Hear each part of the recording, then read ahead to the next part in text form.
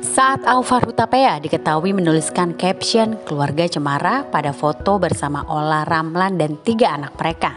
Dalam foto yang dibagikan Alvar pada laman Instagram pribadinya itu diambil saat mereka tengah melakukan perjalanan bersama. Ola pun terlihat cantik menggunakan kemeja putih dengan bawahan jeans robek berwarna biru serta kacamata berbingkai persegi. Sementara Aufar tampak gagah dengan kaos hitam dan celana training.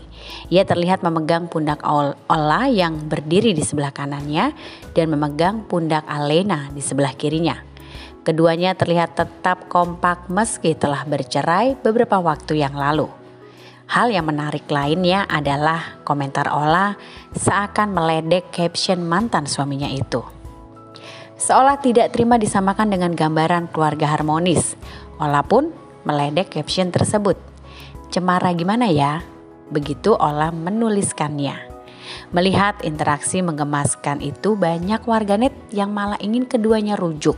Apalagi Ola dan Aufar masih sering terlihat bersama meski mereka telah berpisah.